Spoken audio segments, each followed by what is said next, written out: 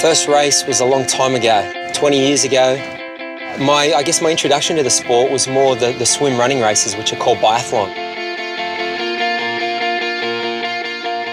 A guy I went through university with, he was at my house one day, he knew I was interested in triathlons, that I used to watch them, and he was a cyclist. You know, I think he saw I had some schoolboy trophies from athletics and swimming, and he said, you know, I can help you with the cycling side of things. We bought a bike out of the newspaper, the Trading Post as it was called. I think it was on like a Wednesday or Thursday, and I did my first race on the Sunday. It was in the summer of 93, 94, so it feels like yesterday.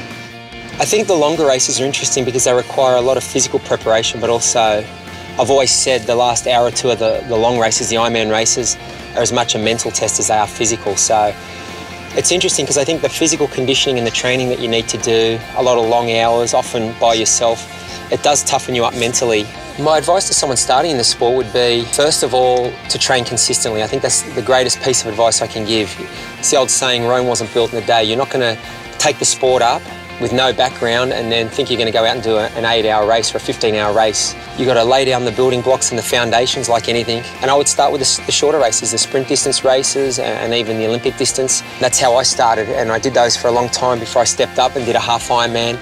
And then it was a long time, a very long time until I did a full distance Ironman race. So I think be patient, be consistent with your training and, and, try and add a social aspect to it so the training's not so monotonous because it, it can get that way, particularly for the longer races.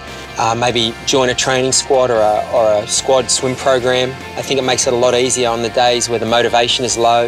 I think overriding all of that, you need to have a passion for it. I think if you've got a passion for doing the sport and you truly love to do it, you'll be able to, you'll be able to do it.